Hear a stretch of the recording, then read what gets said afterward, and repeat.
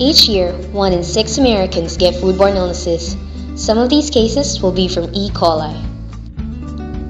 According to the CDC, E. coli is a bacteria found in the environment, food, and intestines of people and animals.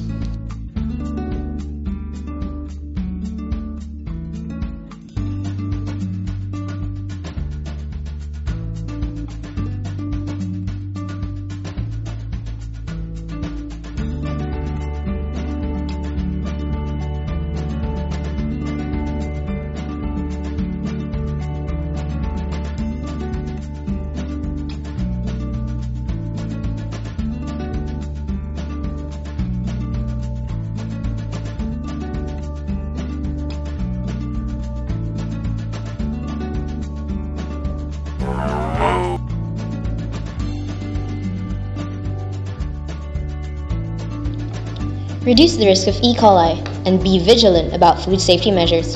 Visit our social media sites for more food safety tips.